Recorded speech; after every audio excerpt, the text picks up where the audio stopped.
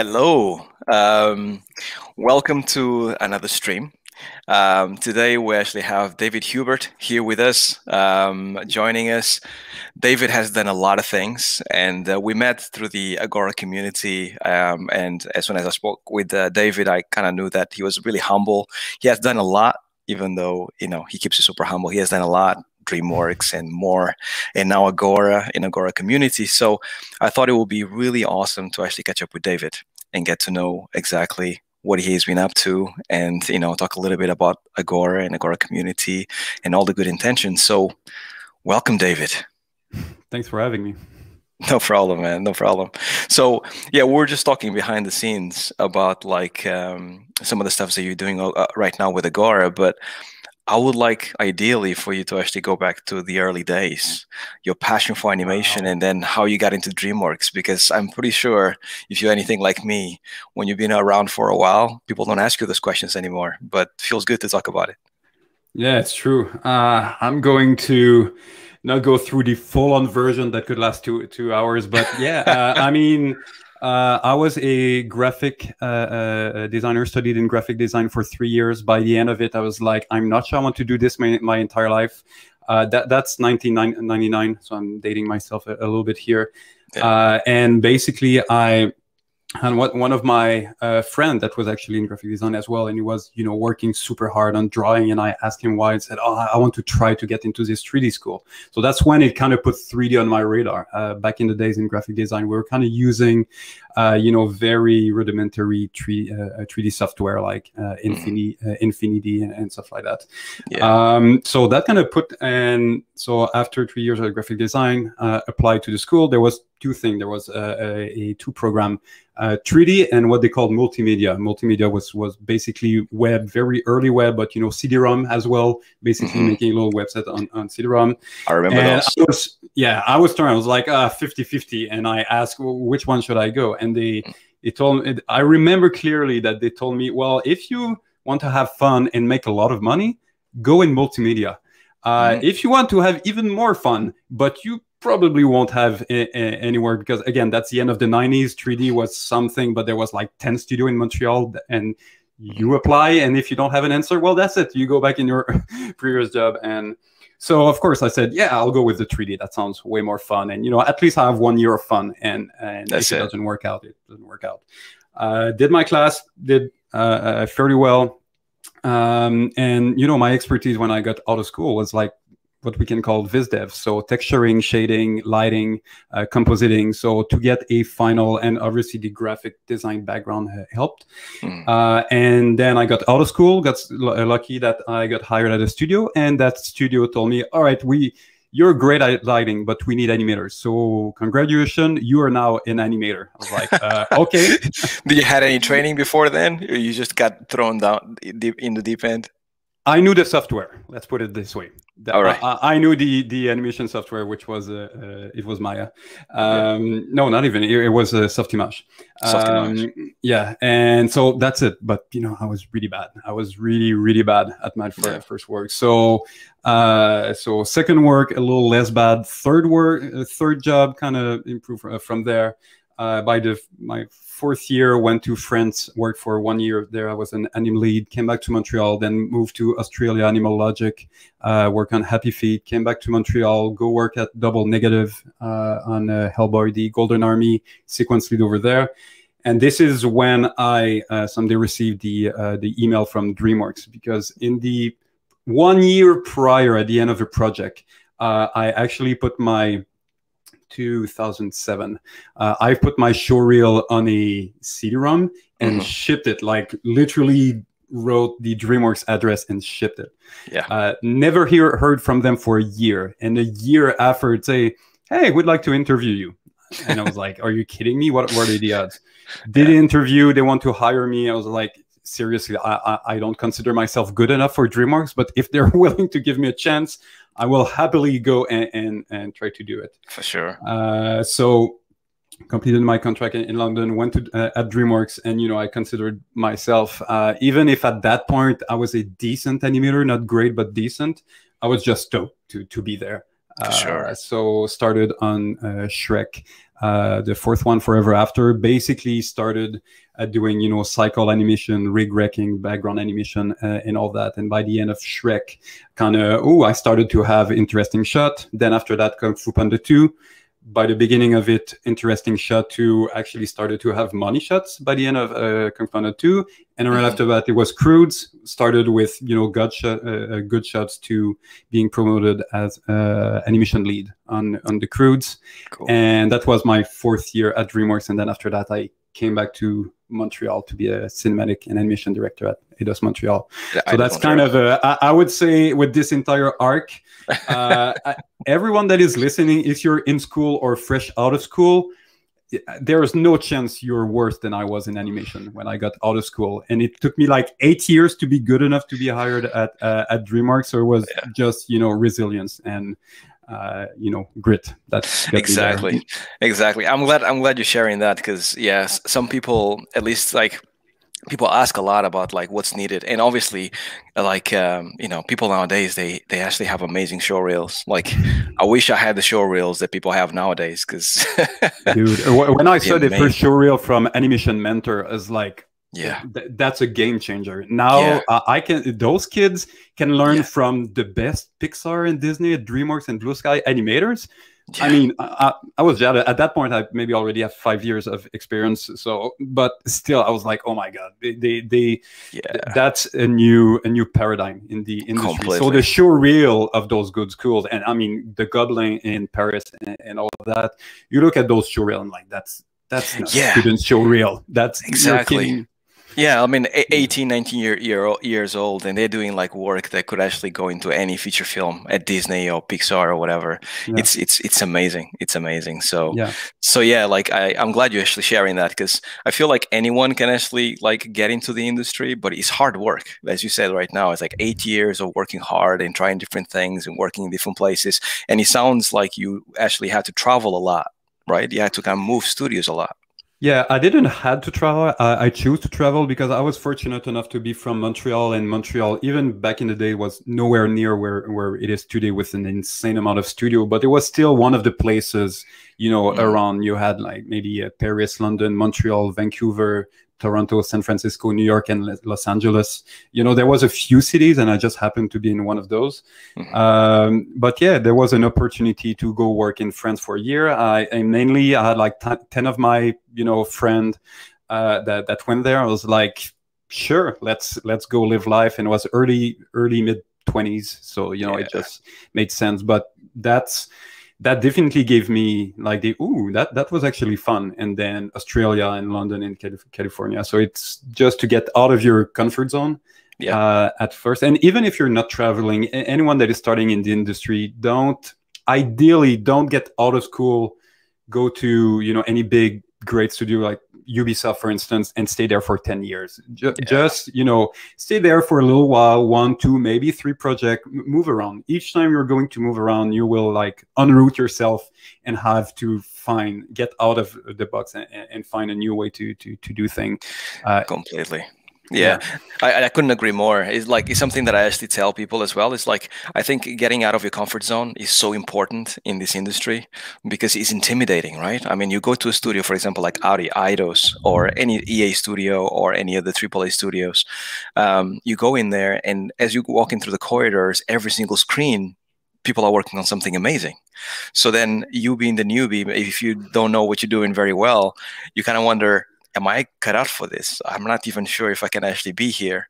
And yeah. especially if you stay there for a long time, then it starts getting into your head. But if you actually start jumping from place to place because you have different experiences, all of a sudden you have to actually kind of uh, grow faster. So you get to better places quicker. Yeah, if you mix that with, as you mentioned, like humility in the sense that you're like, okay, I'm here, you know, I have my own skill, my own experience. I can definitely help share and help others to become better, but I'm also a sponge and I'm going to everyone around here, even those that I, I might not judge that they are uh, as good as I think I am everyone has something that they're good at. Uh, some are great with all the tools that they're coding themselves. Others are just have great people skills and they're fun to be around. Other are just insanely, you know, uh, good craftsmen that make those those beautiful poses. everyone has something to to bring. So if you just go there with humility and you're like, okay, I'm here to learn as much as to contribute. Um, yeah. And then on top of that, you move around uh, uh, often, then you just learn way faster. And this is how I feel that within eight years, I've been able to learn almost like maybe others would take 20 years because I was constantly yeah. just learning from everyone that was uh, uh, around me as much as I could.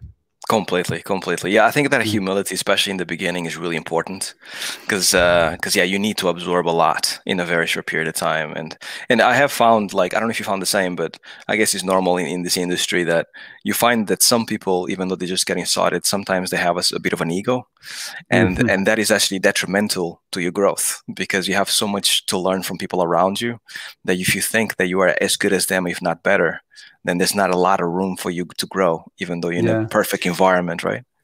And honestly, in the beginning, I was kind of assuming that ego came with skills and experience, but it's not the case at all. I mean, one of the biggest ego I've I've um, uh, I've seen was actually when I was studying. We all sucked, but there was a couple of them that were like you know big shots already. And in yeah. comparison, one of the things that surprised me the most at DreamWorks specifically because the level of you know quality that was coming out of this studio is the level of humility that yeah. every and I think that pretty much you feel that everyone, even how proud we were, were all slightly intimidated because you know James Baxter is there, and you know you have all those people that are literally like at this door right there. So you know it's you, you kind of keep your ego in, in, in check by default when you have this uh, ca- caliber uh, around you. Completely, but, especially. Yeah especially when they they are uh, uh, very humble and they've worked in like some of the biggest movies around and they still kind of like take time to speak to you and mm. teach you and it's great i had one many of those moments that the people to the caliber of james baxter would ask me, "What do you think about my animation?" And I was yeah. like, "Dude, seriously?" And at that point, I was me. like, "Yeah," I was like, "Okay, maybe he's doing this to kind of build my confidence, and he knows that eventually that's going to make me, you know, uh, a better animator." There was definitely some psychological yeah. game in there, but just the fact to kind of say, "Hey, by the way, what do you think about?"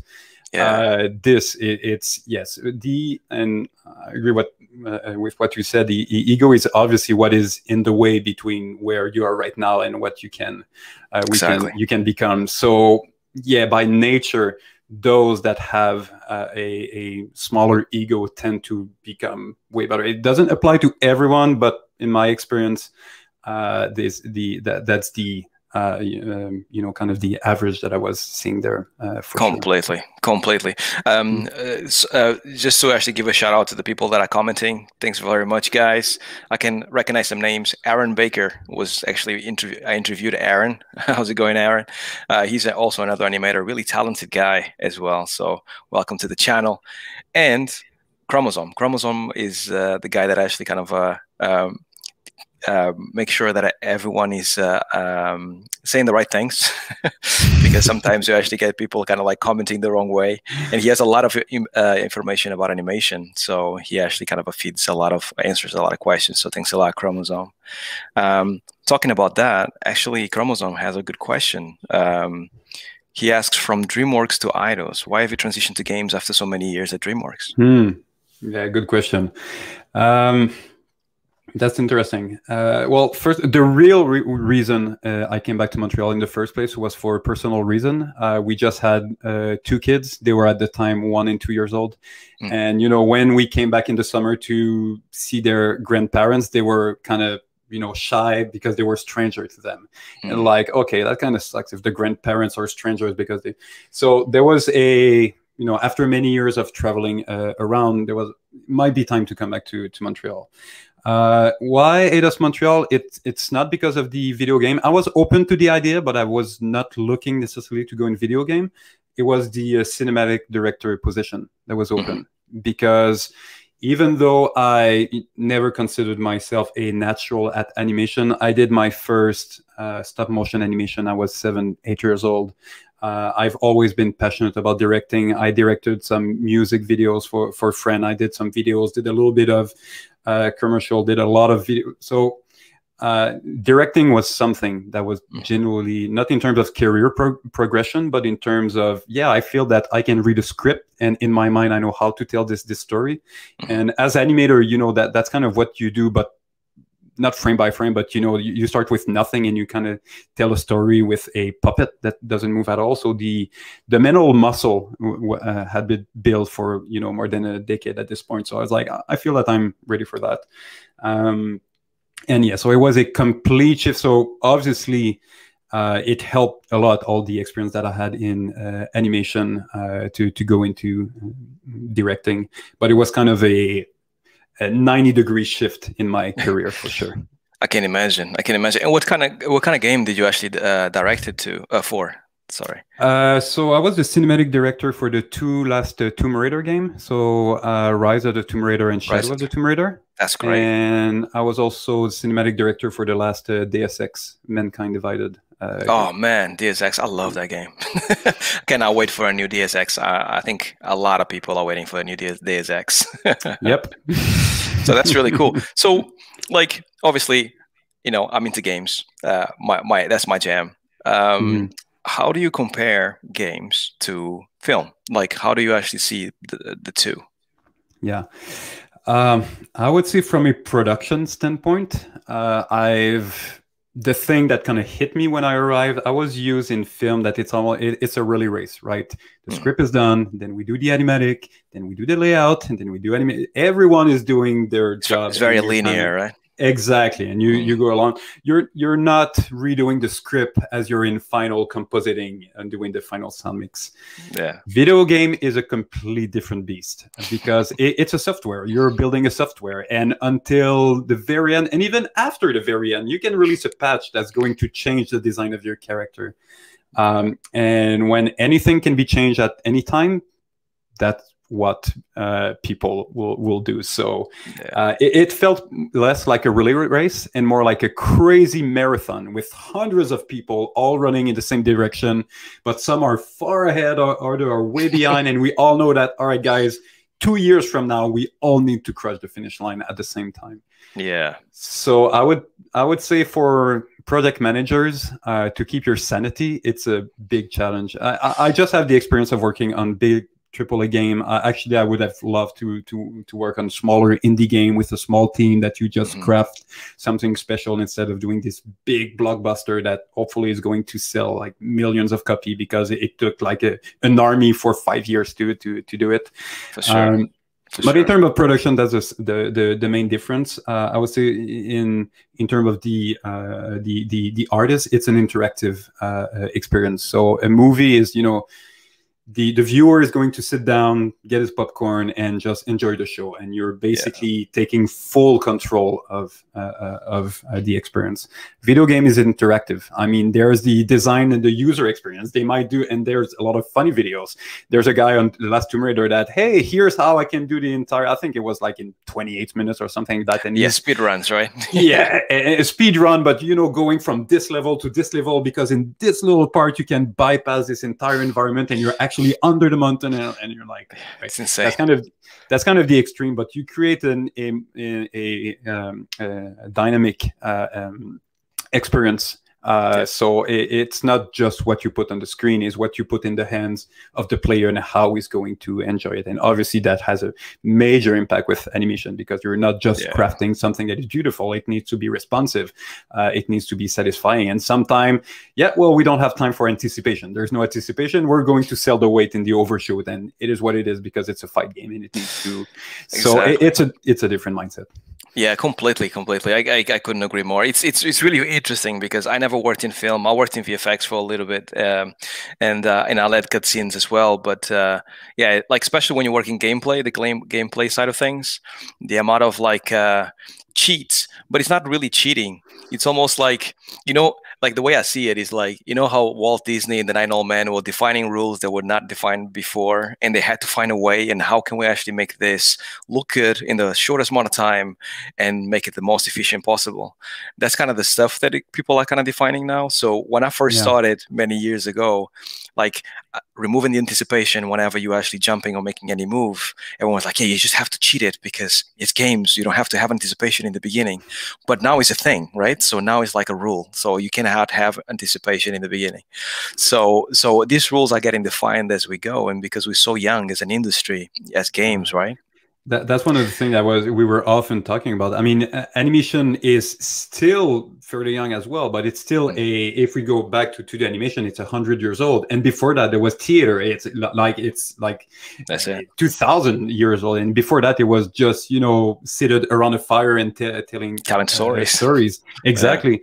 Yeah. video game is I don't know, uh, forty maybe oh, 50 if you really go go back if you, if you go way back yeah but as an interactive 3d medium super yeah. mario 64 i think it was the first 3d proper 3d game and that I'd was like 25 25 years maybe 25 years or so yeah 20 20 odd years yeah it, so it is extremely it's barely at the teenage you know uh, year of evolution but yeah. on top of that you put a exponential growth curve in terms of technology and and and budget that those adoption projects, as well. Mm. So each time you finish a pro- actually during the project, the technology that you have access to by the end of the project mm-hmm. is mm-hmm. is different than what you had. So you constantly have to adjust along the way. So not only is it a young industry, it's an industry that evolves so rapidly that's from one production to another and it's very dynamic as well. You know people move around from a studio to a, a, a to yeah. another as well.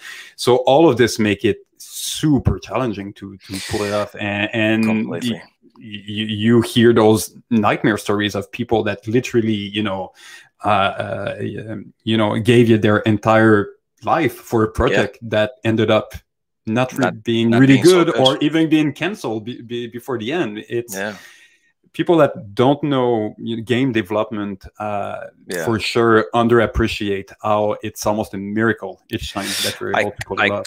I couldn't agree more, man. And it's, it's, it's interesting because you spend like you know if you actually do a AAA game, it's like about five years from pre-production to production and then release. Uh, four years, five years, seven years sometimes, like in cases of games like Last of Us and God of War and stuff. But by the end, if you have something amazing and it was like Game of the Year, ninety plus ratings and stuff like that, it feels exactly as you, like you said, like how do we pull this off? Because as you probably know, right at the beginning of development every project is a mess. It feels like, how can we actually make this happen? This is not a game. Yeah. And then by the end, to actually get to something that people can play and it's a story yeah. from beginning to end, and cinematics works and gameplay works, and it's just it's yeah. incredible. Yeah. Mm, something I've been told when I started in games that you know you're going to feel that you're failing for super long and then by the end everything is going to merge and it, it's going to to to work out and yeah. and that that's a story I, I, was told when I started at Eidos. They, they, they, they told me that you know uh, uh, Deus Ex uh, Human Revolution that ended up being a success, a critical success, and you know a revamp of the franchise and, and all of that. Yeah. You know, like six months before going gold, they were like, "What are we doing? It, it's a complete failure. It doesn't work at all." But then you know every ai is gelling with game design and this and yeah. this and all of a sudden like literally a few weeks before like holy shit i think we yeah. have something and then a, a, few more weeks and then one or two patch and it's like oh my god it's you know i don't want to say yeah. it's a masterpiece but it's a really really good game that people are enjoying and six months before you you you thought that it might be a complete failure it, that's it knife yeah. nerve wracking. Yeah completely. In every single studio that i've been it's always like this the last six to three months that things come together it feels always like uh like like a like a, a train wreck most of the time. Yeah. But it works. It works in the end. The, yeah. the good thing about experiencing games is exactly that because what i'm finding now is that whenever you hire senior people that have been working in games for a while right like you you were working in games for a while having that development um, under your skin makes makes you think that there's a process to this because you've seen it a few times. So therefore, like even if the game takes five years, you know, in year three, think animation especially are not going to be the best. People are going to be like, you know, a lot of T posing, a lot of stuff not working. yeah. Yeah. I would say the expression trust the process is trust something process. that that has been repeated very often during production, especially in those time of desperation uh, just remember that, guys. We've been there before. We are. This game sucked exactly as much as it should suck at this point of production. That's it. Uh, and we've been there before, and it's going to evolve until the end. You know, Yeah. we don't know if we're going. Where are we going to land? Like 78 or 89 on Metacritic, but you know, Yeah. it's going to be somewhere uh, in, in between. It's really in the last few months that's like, do you have a masterpiece in your hand, or you just have a, a, a good game? I- I think maybe on some game, especially on studio that have the um, that are making the same kind of game uh, uh, over and, and over, uh, you know, like the Santa Monica studio and the Naughty Dog. I mean, they are master at what they are doing. Oh, So. I can imagine that they can predict longer ahead of time uh, Yeah. how uh, it's going to to to work out. But other studio that kind of go a little bit from one uh, um, type of game to to uh, to the other. Yeah. Uh, it's really, as you said, the last three six months. It's that's when you're going to start to see where you're going to land. Completely completely um like um here uh, chromosome asks, asks actually a good uh, a good question um how was your process to learn motion capture after being a hand key animator for so long that's actually good a good transition Hmm.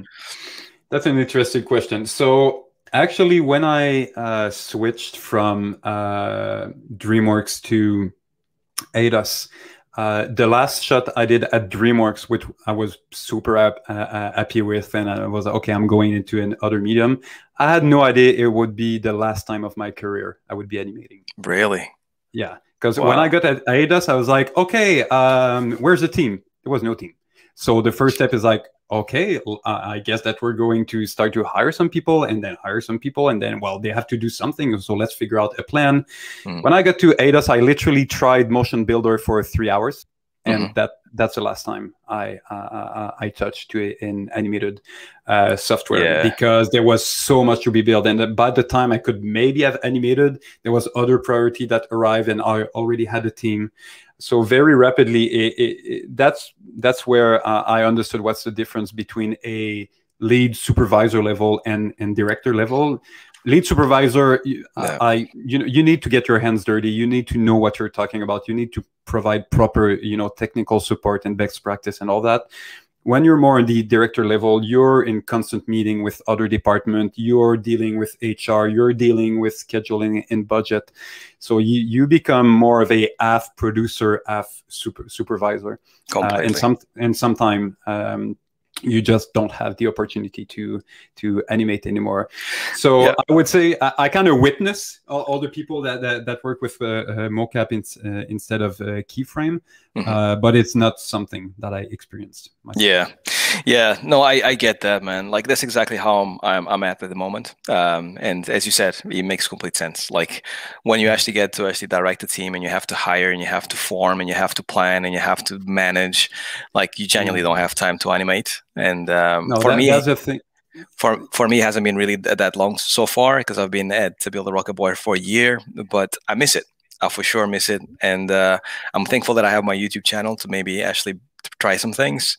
But uh, at work, work, it's very difficult for me to find time to actually kind of uh, animate. So I get what you mean, and uh, it's kind of sad, but it's part of the Yeah. job, right?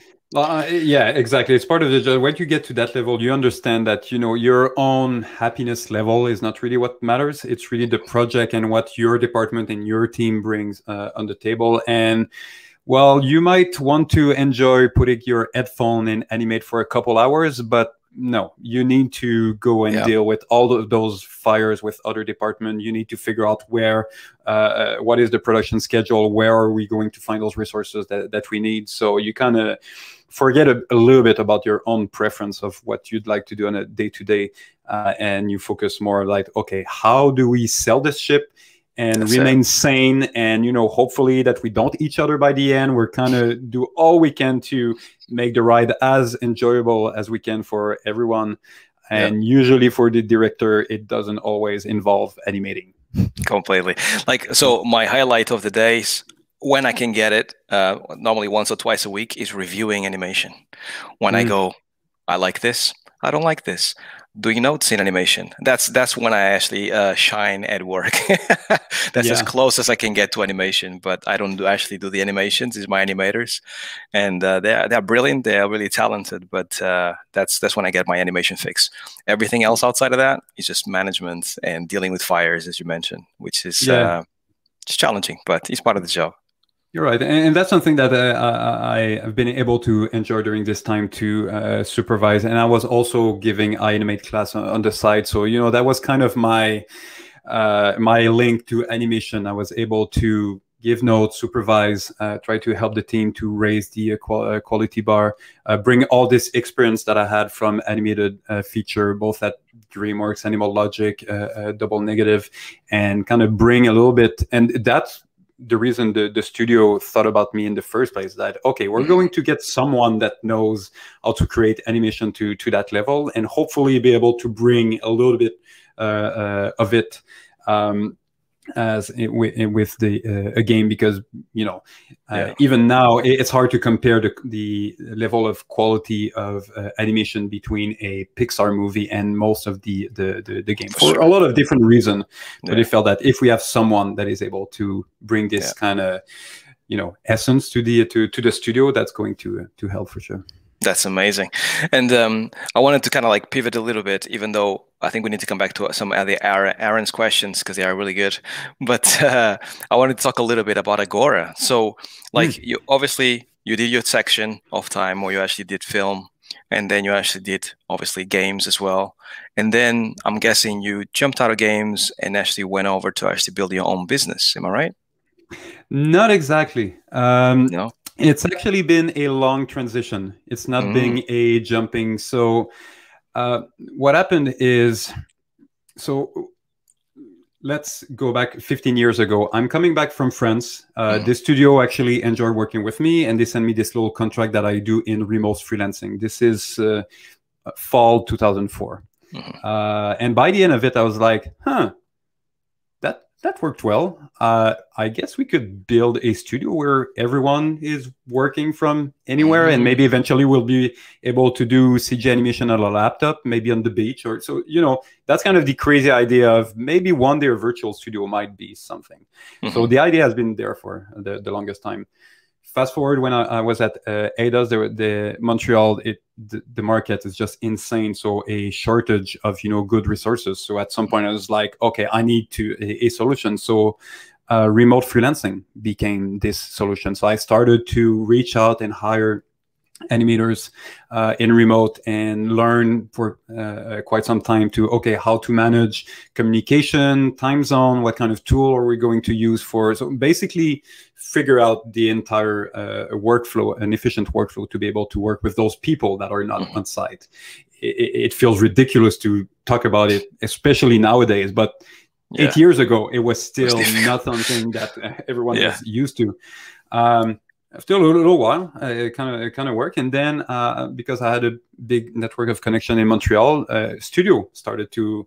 Uh, are you available? No. Well, do you know people that are available? Not really, but if you're willing to go with remote freelancing, I know that there's a lot of your your pool of resources. So I kind of been the uh, evangelist of remote freelancing, but with no business and you no you know anything mm -hmm. else than sharing what, what, what I was experimenting. Mm-hmm. Uh, and eventually there's a studio that said, could you actually find the people and supervise them and manage them? And I said, sure, let, me try. So night and weekend, I was doing it.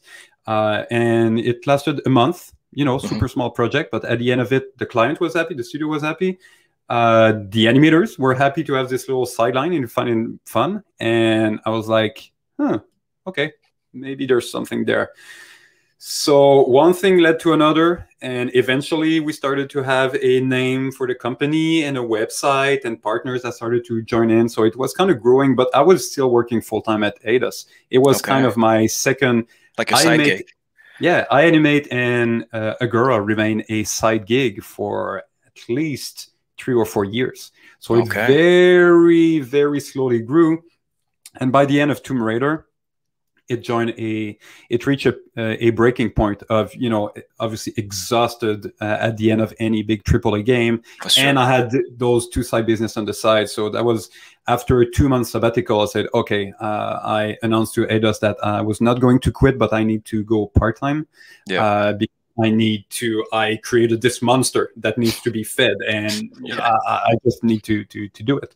Yeah. Um, and so on a six month period, went from like three days a week to sorry guys, I I, I really don't have time uh, uh, anymore. So it was a very gradual, and it's uh, October of. Um, when, when, are we? Yeah, it, it's it's a, year ago, uh, or, uh, or uh, that we um, a year and a half ago uh, that uh, I made the transition to go full time with uh, Agora because the growth was super fast. Yeah, that's great. Yeah, I've been riding this wild beast since then. but it hasn't been that long. I thought it was gonna. It, it was go, it was longer because of mm. like you know how much exposure you guys are getting, how much love you guys are getting in the in the industry. So it's been um it's been like a, a really a passion project that turned into like a business, right? More than anything. Yeah, it's. I mean, none of us plan to. Okay, let's create a business.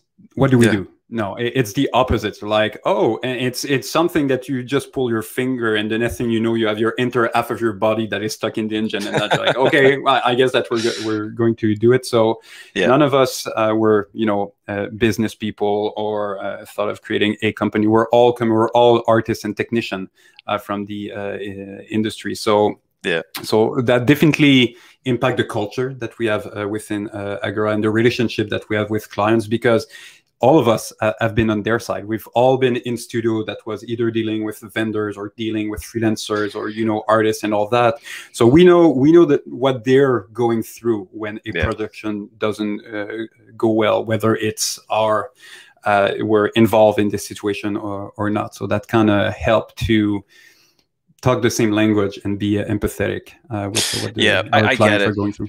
I get it. Yeah, like when you actually go through a few years of experience, then you actually start seeing like motions of of like the same thing happening in different studios, and definitely going freelance, especially nowadays, right? With the, with COVID and everyone working from home, I think he's making yeah. it's making more sense than ever.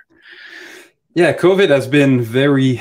I mean, in the beginning, like uh, everyone, like, holy shit, okay, what what's gonna happen? There was this phase of, are we? I mean, we're still a startup. Uh, we don't have like millions at the bank. So what happens if there's no contract all of a sudden for like a year? Can we survive? So there was all of those questions.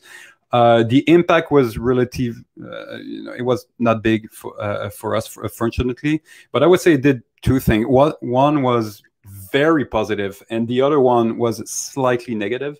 Uh, this the slightly negative is that our best selling point for freelance for artists in general is like, hey, you want to work from home? We have a solution for you. Oh, I it's see. It's pretty hard to to, to uh, use that selling point uh, nowadays. Yeah. So I would say out of the ten thing that we used to say, well, this is this.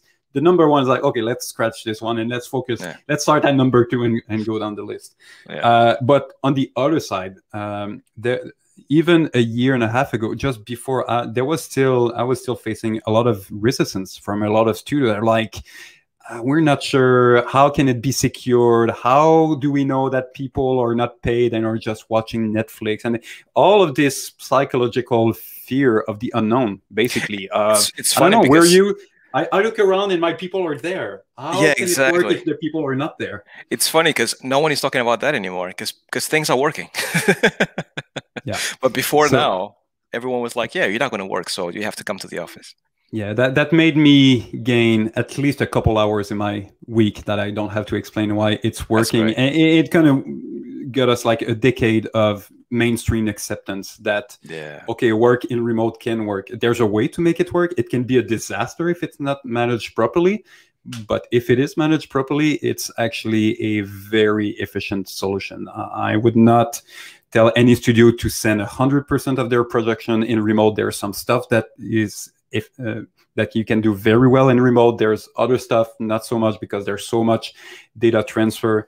Yeah. Uh, but I think the more it goes, the more studio. I see the industry evolving as most of the studio are going to keep a very strong core team mm-hmm. uh, of creative and technician and each time you know production is doing this each time you're at the top of the curve of, oh okay yeah we actually need four more animators for two months there boom bring the, the freelancers ideally people that we work with in the past. All right it's finished. Thank you. We continue with the so it's going yeah. to be a mix of working with our own core team and working with those freelancers or vendors or other uh, people that are not physically here yeah, it makes complete sense. I think I think games does a lot of that already. They they kind of expand contracting towards the end of the project, right? Because they have to actually mm-hmm. add another hundred people on top of the project, and then they actually let let go of them. And um, I remember a few years back, everyone used to think that was the most cruel thing, because uh, especially when I was working for Microsoft, everyone was like, everyone wants to work for Microsoft, and then Microsoft would hire as a contractor and then like you know throw you out in the end. But uh, that was actually a good thing because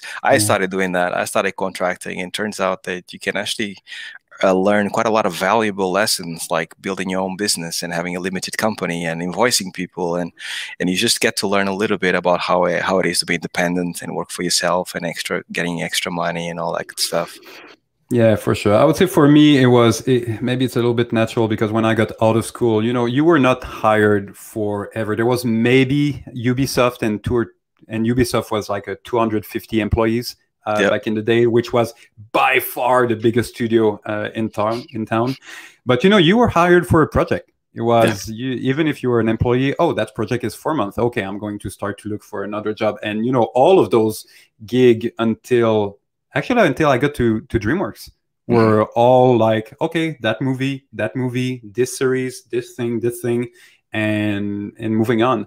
Yeah. Um, so I mean, there's definitely maybe some people that want to prefer the peace of mind of okay, I'm going to be there, and for them it's comforting that I'm still going to be there five years from, from now, and and it's fine. Uh, but I think there's more and more a, a realization that it's an ecosystem. Sometimes you can go work for a studio X amount yeah. of time, then you need a two month sabbatical, then you're going to freelance a little bit, then you're going to work again, or need a little bit more money, maybe going to freelance 15 hours on the side and people exactly. realize that okay now all of the options are out there. So it's everyone to choose what they prefer to, uh, to yeah it's, it, it's a beautiful thing. I really hope that that's the future. I don't see why not especially given how how like this actually the benefit of this which is everything is bad except for this for the covid is exactly that. I think it's just like the world is going to be a very different place and people are going to be much more independent and have more options especially in the industry that you have to jump around so much like yeah. the, the, normally, like when you're young, and you probably can relate to this. When you're young and you're 20 years old, you think I can go and work in Australia, I can go and work in LA, I can work working in Canada. I'm going to go to all these places if I can because I can get paid and I get accommodation and relocation. Yeah. But when when you get to your mid 30s, 40s, and you have a family and you have to actually kind of settle, then it becomes difficult to do those things, and and it's it's hard. It's hard to justify. Yeah, yeah, for sure.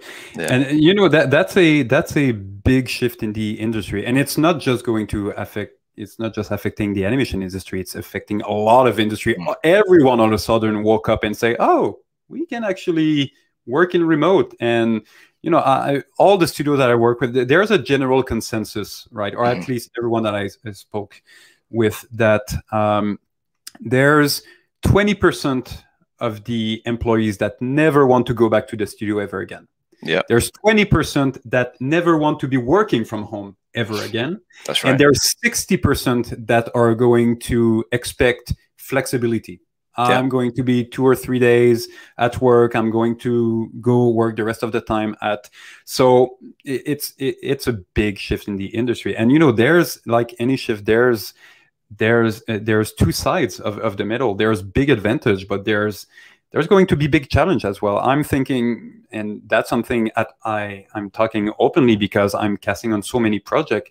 For you know sure. when when you we get into a reality that studios will be able to have access to anyone on the planet. And yes there's time zones. Yes there's culture. Yes there's language barrier. There, there's all of those things. Um, but you know, English being mainly the universal uh, uh, language, when most of the studios say, okay, now I need to ramp up, um, they're going to go for the best artists they can have for their for their money. It doesn't mean that they're going to go for cheap labor or automatically, but you know, if you're currently living, for instance, in downtown New York and you Yeah. pay like four thousand for per month for your little apartment, and you're charging a salary in U.S. dollar, Yeah. you're not going to run out of work. But just understand that you are now in competition with all those other people that might live in the countryside in country that have lower currency, and sure. you might be on par in terms of experience and skills, but they are less than half yeah, the price than you are only Yeah. because of the cost of living of where you you are living and so that's just a reality that people will need to start to think about completely, completely. Especially when the level of talent is the same, because obviously talent comes from anywhere. Mhm. Then it's hard to justify paying someone in New York more than someone that is actually somewhere else that's slightly cheaper with cheap better rates when they can give you the same amount of work uh, at the same quality, right? well it, it used to make sense in a time that you know there was a few good school you know you had Mm. uh, CalArts uh, for instance you had the Gobelins you had Sheridan and those schools used to be in those center where life is more uh, expensive and you know good education bring good uh, uh, you know Better students talent. that you Better- yeah, yeah. exactly so the talent kind of followed but Yeah. you know we already talked about uh, an admission mentor how they break them all and then the iAnimate and AnimSchool and all those others Yeah. so it means that literally now you can be at the far end of the jungle as long as you have internet you can be You're good to go. by Exactly. the best uh, so that's a thing and now Mhm. on top of that studio from anywhere can hire those people that already had amazing education by those animators that are in that studio so For sure. it's not going to be overnight but you know the next decade is going Yeah. to slowly go uh, make this become a reality sure Yeah, I couldn't agree more. Um, I would like to talk about your your your website though, because Agora Studio. Mm-hmm. I have to say, fir- first and foremost, the website is amazing. Uh, thank you it's really cool. Like that was the first thing. Like when I actually kind of uh, find you guys for the first time, I was like, "Wow, this is a cool website." Um, awesome but uh, so I know that as you mentioned before, just before, so we don't run out of time. Like you actually obviously do this amazing work, remote, lots of different companies and all that stuff. But um, Agora community is actually Mhm. like uh, something that I found incredibly interesting. And uh, once again, thanks a lot for, for the invite. And I think that this is going to has the potential to be huge. And uh, the fact that you guys are gathering so many um, great talent under one community and like, sharing the knowledge and with this cool website as well. yeah. How did that come about? How how did the idea came about? Um, th- th- it's a mix of many different things. Uh, first of all, I think um, I think when you get to a certain level of, you know, we often have this uh, uh, imposter syndrome as animator. I don't know why, but we all feel that we don't deserve to be in those big studios and all that. Completely. And at some point, when you have like 20 years of experience um, and you've been doing good and you're fine and you, you, you uh, this feeling of you know uh, paying it forward and contribute to the uh, industry it's something that you have a hard time to put words on it but you Mhm. you feel i remember that when i started to teach at ianimate when i had a ex students of mine that that came back two years after to email me and say dude you have no idea how much you made a difference i now have a job i can provide for my family and all that this feeling that, that you have when you feel that you contribute uh, uh, is so so that's something that we've been talking for for a while Mhm. uh, the, the the trigger was really the beginning of the pandemic. At a point that you know there was the early what the hell is going on, and then the okay is everyone safe, and then it's gonna be the beginning of this. Okay, well, what do we do with all this time, and how can we contribute to uh, to it? So we started with uh, uh, Agora Studio that we did this um, like twenty or twenty five uh, video series of okay, well, now that you're all stuck stuck at home, uh, we've been doing this for five years. So we had a lot of our freelancers that, okay, today um, I'm going to talk about why uh, it's good to exercise, what should be a good mo- morning routine, uh, why it's a good idea to still take a shower even if you're working from home, what tools you can use to be more efficient. So we kind of started with uh, with that, but very rapidly after there was this idea that I was talking with uh, Brent uh, George, that's also uh, involved with uh, Agora community Mhm. uh, about this idea, and it started with. Um, that would be great. I mean, there's all those amazing uh, online school already. Th- th- There's that this is covered, um, but maybe there could be a demand just for people that want to have affordable feedback for their Yeah. uh, animation. And once we have their, their feedback maybe they won't mind if we share it with the rest of the community. So mm-hmm. maybe we could have you know a way to take all of those reviews and put them in a library. So anyone if you, even if you're not ordering a review yourself you can benefit from hundreds of hours of reviews from top animators on, on those. And then well since we're going to build a library why not start to create uh, uh, you know content for it? Or mm -hmm and this is when we started to reach out, uh, uh, you know, to uh, to the Wade and Jean Denis and yourself and a lot of others. And many said that's an amazing idea. By the yeah. way, I have all those video on the side that I'll be waiting to put. So all of a sudden, like, okay, I guess we could do it.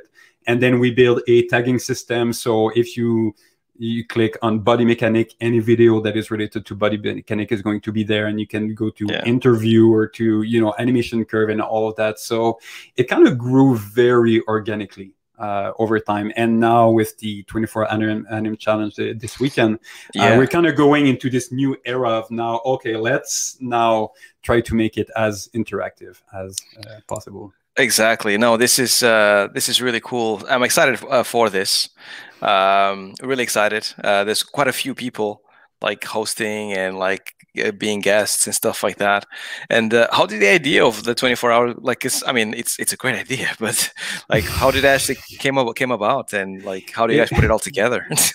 it's uh, you know, there's one there's having the idea, and there's actually choosing to execute on the idea and then deal with all the different logistic and uh, uh and everything um, it's uh, uh, Veronica, one of the uh, that is in the uh, team, and uh, that she's doing a lot of the frame by frame uh, footage that we're sharing and, and, all that. She participated herself to a 24 hour challenge. It used to be at a school, but COVID, so it was a online 24 hour challenge. And at the end of it, she just you know just casually told us about the experience, and I think there's a few light bulb that just uh, appears like holy shit we we already have connections with a lot of people. We already have the anim challenge that is doing really well. Mm-hmm. that's something that sounds very interesting. We want to start to do those live events uh, let's throw a 24 hour challenge and see how it goes. So we started to reach out to most of the, the, the name and there's many more people that unfortunately were not uh, available but maybe on the second uh, if there's a second challenge. So I would say the enthusiasm of people that we reached out uh, just fueled our own motivation to to do it. So That's we started, I think it was two or three months ago to talk about it, and we had the okay February first. Uh, that's our deadline. Do, do, we announce it? Do we do it or not? And by that time, we were all stoked and like, all right, let's let's do it. Let's do it. That's really cool. Like for example, Aaron here, um, he actually mentioned to me already, but he's part participating on the 24 hours challenge, and I expect great things. I'm pretty sure he, he's going to have a, a badass team to actually kind of uh, join in as well. So it's going to be great. Yeah, that's going to be awesome. I, I, I mean, I, am I'm, I'm super stoked for for uh, for this kind of uh, of project. And you know, this is yeah. when it, it's coming from just from passion for animation and, and just seeing all of the amazing work that is coming from the anim channel. And again, just see everyone, uh, you know, drive uh, and motivation to to do it. It's kind of fueling ourselves to say okay well now we let's uh, so let's stream for 24 hours and let's do this and let's do this and let's build a custom 3D trophy with a frame of the the, the winner and all those crazy ideas that that's great on top of so, each other. So so the winners get a 3D trophy. Is that what they get? That's for the uh, the solo section. So those that that's go uh, cool. uh, by themselves, that's going to be. Uh, so we wanted to that, that's a, one of the crazy ideas that's like all right let's let's do it we have two super you know talent, uh, uh, talented uh, uh, people um, that are going to work on the trophy 3d printed and then end um, um, paint it and then after that because we, we want to you know leverage as much as we can uh, we're actually they're actually going to record the process and then we can put this process in the library. So if people want to 3d print their own trophy we'll have the kind of making of uh, uh, of those trophy that's going to be accessible in the library uh, afterwards. So it, it's uh, everything is connected some somehow. So this is why yeah. it's super inspiring and motivating That is cool. That is really cool. Yeah, no, I think um, I think like with with with things like this, I think this is exactly what the community needs to actually kind of have some kind of like something to do because I feel I feel like with everyone staying at home for a long time, yeah. I feel like a lot of people get into that vein of like because we are all at home we shouldn't do anything in our spare time because there's so much netflix and distraction and games and all that stuff. Yeah. i think if you actually want to be an animator or aspire to be an animator or maybe you are already but you need to see a little side gig and you're bored these kind of challenges are perfect because it gives you something else to actually kind of uh, just like spend at least a few days working on. So it's great stuff yeah, it's one thing to interact with people, but it's another thing also to feel that you are part of something, even if yeah. it's just 24 hours. And for us, like, okay, the Anim Challenge are all doing it individual on their side.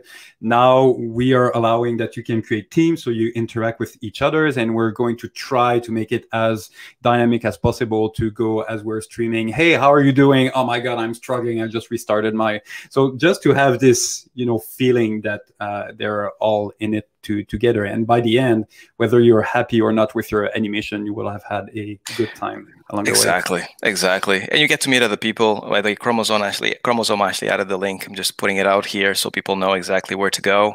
Mm-hmm. The challenge is tomorrow. Uh, it starts for tomorrow, right? Oh no, tomorrow. Uh, no, uh, no it, it's starting uh, Saturday at uh, noon uh, PST. So, yes, exactly. so it's it's from Saturday at noon to Sunday. Uh, yeah, noon. PST, right? Yeah. Yeah, exactly. Cool. So we're going to start to stream an hour before the the, the challenge. Then the challenge theme is going to be announced at uh, uh, noon, and then it's go go go for everyone in the for everybody until yeah they have 24 hours to submit their animation. All of the animation are going to be on a custom page on uh, Agora community, so everyone mm-hmm. will be able to see it. Uh, and we're also going to have an audience uh, award. So basically, we'll have a grading system, uh, uh thumbs up to thumbs down. So uh, we'll maybe wait a week. So you know, whoever has the most thumbs down uh, is going to win this specific prize on the side of the judge prize that we have as well. Yeah, I'll I'll be keeping an eye on that because I'm very interested to see to see the uh, interest. I'll be giving a lot of thumbs up and thumbs down, I guess. so, yeah. For, for, those that want to join me, by the way, I actually like a self plug, but I actually kind of uh, I'm going to be hosting for two hours um, at 2 a.m. PST, which is going to be 10 at 10 p.m. GMT to about 12 you you have no idea how much our brain melted in the past week just trying to yeah. figure out okay that's in pst he's in europe what is the time of the host who's actually on the east coast and we'll need a better system for that because we was, I was died, right? I was making everything more difficult for the because of where I was well not you I mean we have a lot of people that are in different time zones so whether it's six yeah. hours ahead of time or just two hours it's it doesn't yeah. make it uh, easier. But you know, th- thanks for your generosity oh. to come and participate. No. No problem, no problem. Like I know Ed Hooks is actually in Lisbon, Portugal, which is in the same time zone, zone as I am. So it kind of mm-hmm. makes sense that he actually goes a little later as well. Um, so it makes complete sense. Um, and um, yeah, I think it's going to be a lot of fun. Um, and I, th- I, think that this, the setup is going to be like this, so everyone can actually communicate and comment and all that stuff, which is going to be Excellent. Yeah.